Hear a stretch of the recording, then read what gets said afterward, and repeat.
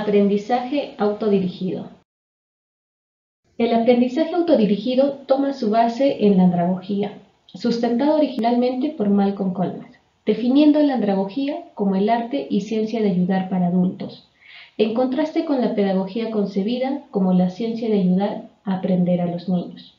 Entonces, el aprendizaje autodirigido ha sido referido como un proceso de aprendizaje de carácter estratégico y autorreflexivo, en el cual el estudiante toma la iniciativa con o sin ayuda de otros para diagnosticar sus necesidades de aprendizaje, formular sus metas, identificar materiales y recursos humanos para aprender, implementar y elegir las estrategias adecuadas y evaluar los resultados de su propio aprendizaje.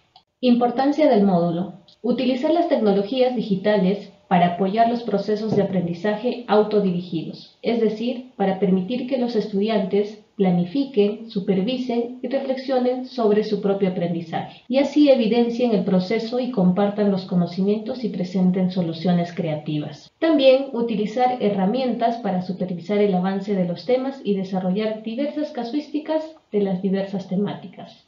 Antes de iniciar con el módulo, tenemos algunas preguntas que nos ayudarán a reflexionar. ¿Cómo influye la andragogía con los diversos pensamientos filosóficos? ¿Qué retos y desafíos tenemos los docentes frente a las nuevas tecnologías?